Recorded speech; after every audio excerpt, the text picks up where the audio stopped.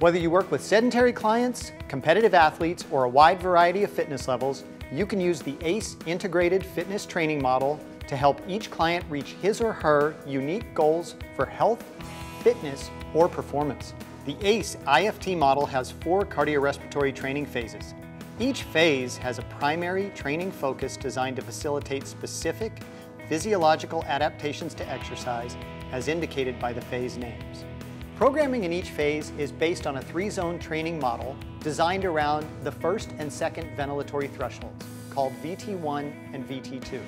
Zone 1 involves moderate exercise performed below VT1. Zone 2 involves exercise from VT1 to just below VT2. And Zone 3 involves exercise from VT2 all the way up to maximal efforts. Each cardiorespiratory training phase has guidelines for exercise programming in one or more of these zones. Marion is going to exercise in each of the three zones to help you identify the respiratory changes that occur at VT1 and VT2. Heart rates at VT1 and VT2 can differ between cycling and running, so you should assess cyclists using a bike and clients training for events that include running using a treadmill. Marion has been cycling at a steady pace for a few minutes now. How are you feeling? Feeling good. Can you recite the alphabet for us? Sure. A, B, C, D, E, F, G, Good. That's good. Marion is exercising based on the talk test in zone one, which is below VT1. Exercise can be sustained at this level for a long time.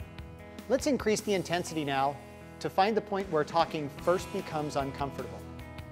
How are you feeling now? Okay. Can you recite the alphabet for us? Sure. A, B, C, D, E, F, G, H. Good. How was reciting the alphabet? Did it feel comfortable, a little bit uncomfortable, or not at all comfortable? A little bit uncomfortable. Marion has just reached the first ventilatory threshold. At this point, it's important to record heart rate as the heart rate at VT1.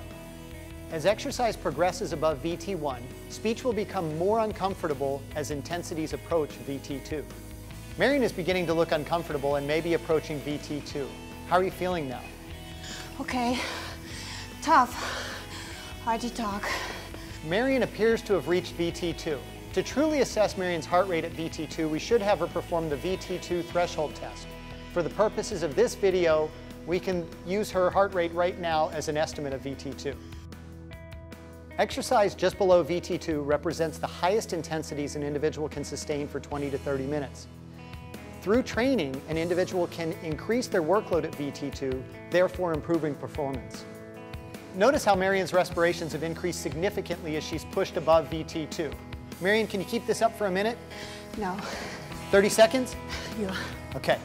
Marion is pushed into zone three and is exercising above the second ventilatory threshold. Efforts in zone three can only be sustained for a couple of minutes, even by elite athletes. Marion has successfully exercised in all three cardiorespiratory training zones of the ACE IFT model. In zone one, talking was comfortable. Progressing into zone two, talking became somewhat challenging. And in zone three, exercise could only be sustained for a short time.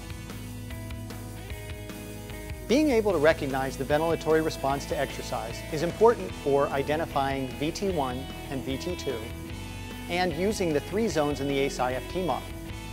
Using these tools, you can design exercise programs to help take clients from being sedentary all the way through to training for endurance events.